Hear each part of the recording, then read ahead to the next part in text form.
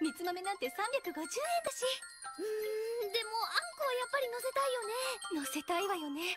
とするとあんみつになって430円。まあいいか2人で860円。でも待って待ってそれならいっそ100円としてクリームあんみつ。素敵クリーム素敵。でもそこまでするならプラス50円で生クリームも絞ってもらえるよ。ちょっと待って生クリーム乗せるならあんずだ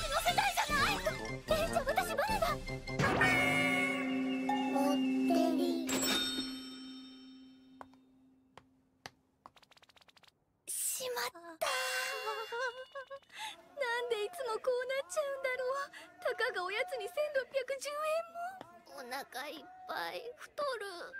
いつもこれでも買ってくらいケチケチ切り詰めているのに。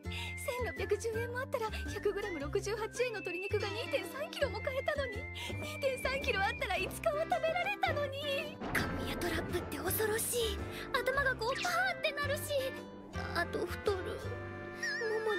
言ったから罰が当たったんだ。今月さらに節約しないと姉ちゃん反省